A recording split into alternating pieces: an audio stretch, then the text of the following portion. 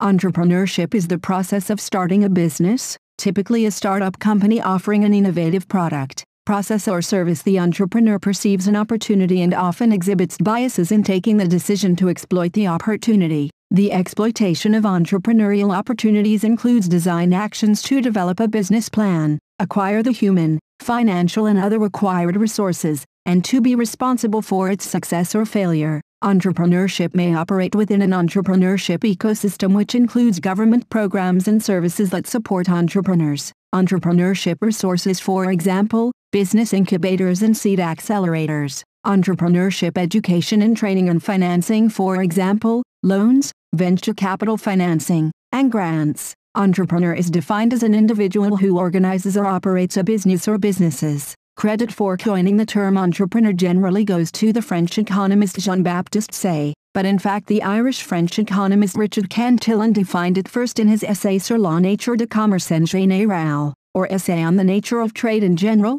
a book William Stanley Jevons considered the cradle of political economy. Cantillon used the term differently. Biographer Anthony Breer noted that Cantillon saw the entrepreneur as a risk-taker while Say considered the entrepreneur a planner. Cantillon defined the term as a person who pays a certain price for a product and resells it at an uncertain price, making decisions about obtaining and using the resources while consequently admitting the risk of enterprise. The word first appeared in the French dictionary entitled Dictionnaire Universel du Commerce compiled by Jacques des Bruslons and published in 1723. Successful entrepreneurs have the ability to lead a business in a positive direction by proper planning, to adapt to changing environments and understand their own strengths and weakness.